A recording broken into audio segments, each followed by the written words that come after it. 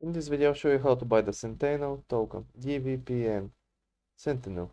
Go to CoinMarketCap and find it. It's on the Cosmos uh, network. So head over to market and see where you can buy it from. As you can see, you can go from either Sifchain, Hotbit, KuCoin, Ascent where it's pretty much Bitmax and Osmosis. So let's try Ascent.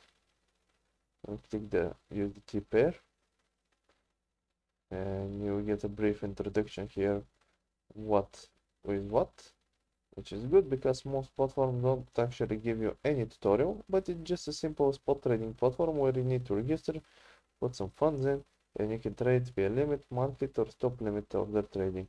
Hope this helped. See you next time and happy trading